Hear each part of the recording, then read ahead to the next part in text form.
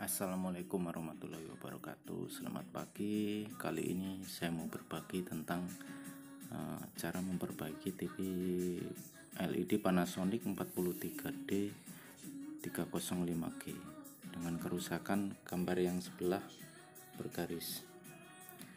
Caranya sangat mudah Tapi sebelumnya uh, Tekan tombol like dan subscribe dulu ya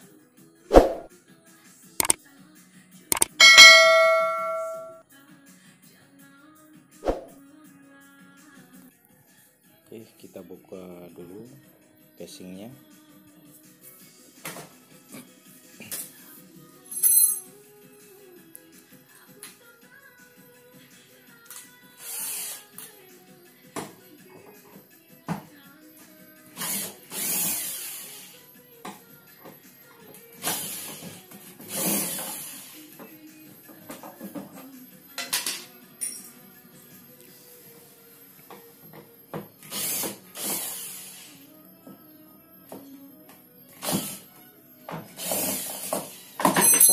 ini. Gambar sebelah kanan bergaris.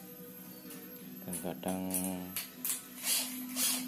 yang sebelah kanan berwarna uh, warna pink ya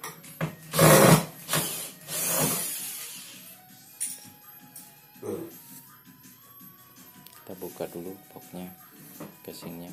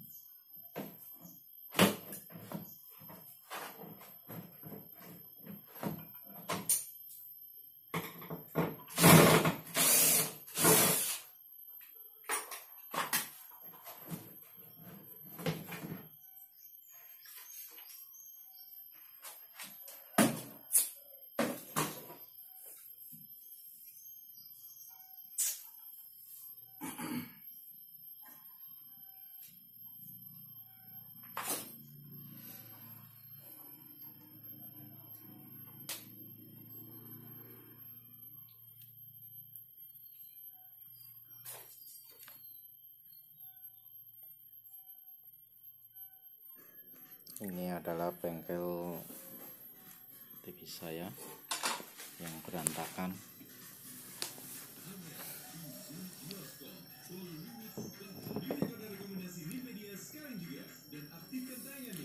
Oke kita coba yang paling gampang dulu.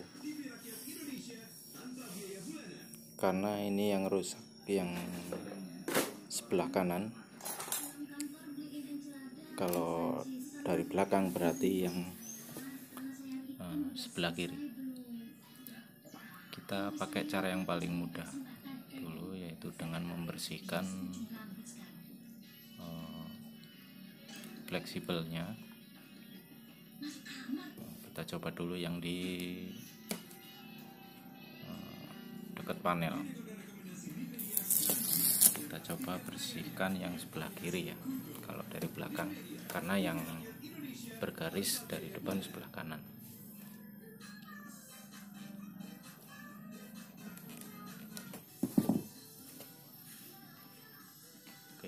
lepas dulu kabel fleksibelnya yang sebelah kiri. Dan eh, kita siapkan dulu penghapus. Penghapus eh, pensil ya.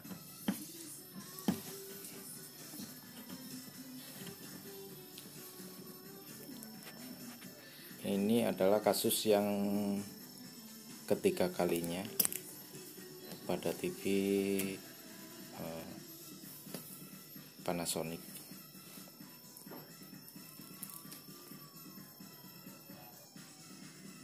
Oke. Nah kita bersihkan pakai penghapus. Karena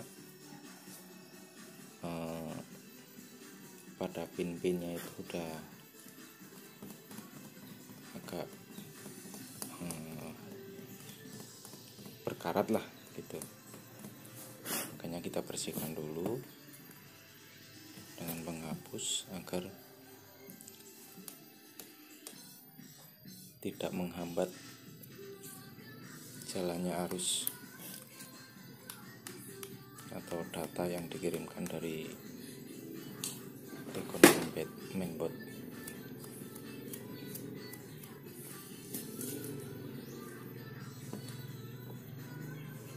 setelah kita uh, bersihkan terus kita pasang kembali. Masangnya harus pas ya nggak boleh miring. Kalau miring nanti uh, malah terjadi kerusakan yang lain. Bisa pada tikonya ataupun pada panel karena short kita harus hati-hati dan pemasangannya juga harus pas. Nggak boleh miring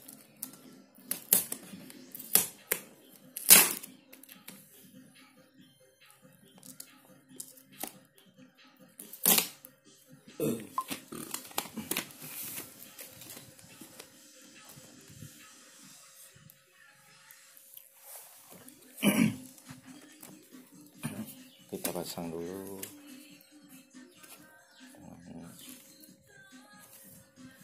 Hati-hati ya nggak boleh kerusak kerusu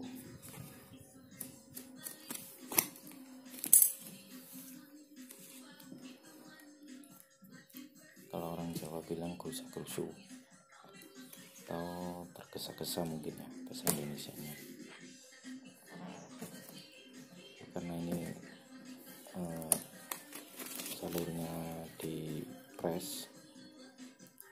terlalu pas maka kita buka penutup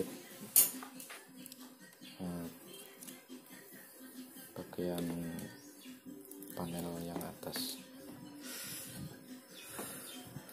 Oke kita coba nyalain. Kalau yang ini berhasil berarti kebanyakan dari Panasonic memang kayak begini. Kalau terjadi kerusakan gambar cuma sebelah oke kita coba dulu.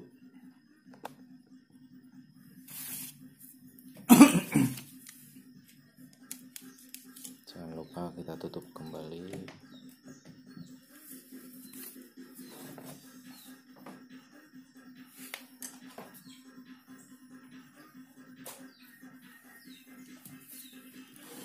Sudah kita nyalakan. Kita lihat ya berhasil. Udah nggak ada garis-garisnya lagi yang sebelah kanan.